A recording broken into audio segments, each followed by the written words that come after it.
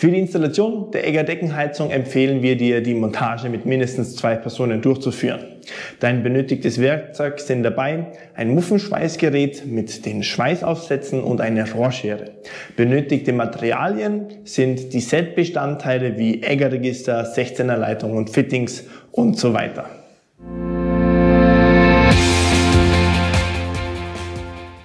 Um die genaue Position eines Feldes zu bestimmen, werden Abstände berücksichtigt. Dabei halten wir einen Abstand von Wänden mit 10 bis 20 cm ein und das Feld zu anderen Feldern oder Vor- und Rücklaufleitungen noch einmal 10 cm.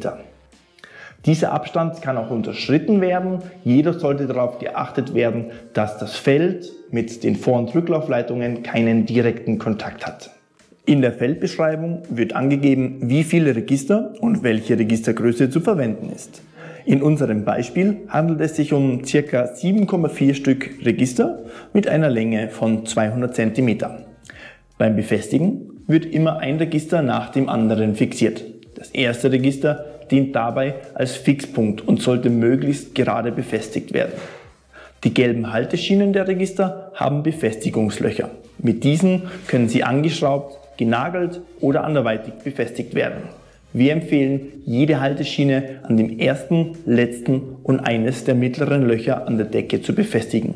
Je nach gewünschten Anliegen an die Decke kann dies reduziert oder erhöht werden. Für das Positionieren des nächsten Registers werden Halteklammern verwendet. Sie gewährleisten, dass der 8 cm Rohrabstand beibehalten wird. Ist das nächste Register an den Halteschienen befestigt, werden die Halteklammern wieder entfernt und der Ablauf wird für die nächsten Register wiederholt. In der Feldbeschreibung ist die geplante Anzahl der zu verwendenden Egger-Register angegeben. Beim finalen Register angekommen lässt sich nun exakt evaluieren, wie viele Zehnerleitungen am letzten Register benötigt werden und wo gekürzt werden kann. Sind alle für das Feld benötigten Register an den Halteschienen befestigt, werden Nippel und Muffe an den Sammlern zwischen allen Registern miteinander verschweißt, um ein durchgängiges Feld zu erstellen. Um den parallelen Durchfluss im Feld herzustellen, werden diese in Abschnitte unterteilt. Dazu verwendest du die Feldaufteilungstabellen der Decke. Wie du diese anwendest, findest du im Kapitel Grundwissen, Eggerregister, Verbinden, Kürzen und Stopfen. Nach dem Unterteilen in Abschnitte werden die Sammler ebenfalls an die Decke fixiert. Dazu werden Halteklammern circa alle 50 cm nahe des Sammlers eingeklipst und angeschraubt. Um den Wasserkreislauf herzustellen, werden die im Heizkreis befindlichen Felder miteinander verbunden.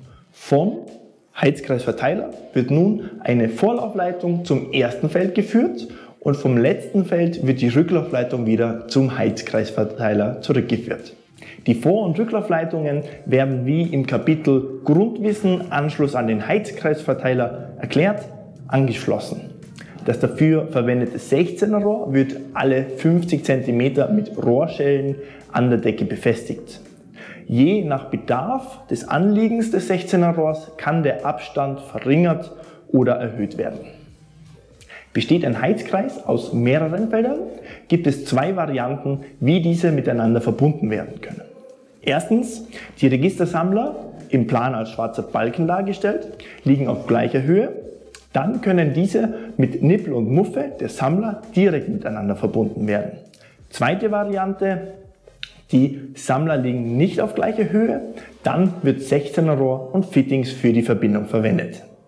Beim Deckenaufbau mit Trockenbauplatten werden Polsterhölzer zwischen den 10er Leitungen der Register und den 16er Leitungen an der Decke befestigt. Sollten die Polsterhölzer mit den gelben Halteschienen der Register kreuzen, können diese mit der Rohrschere örtlich ausgeschnitten werden. Die 10er Leitungen des Eggerregisters haben 7 cm lichte Weite.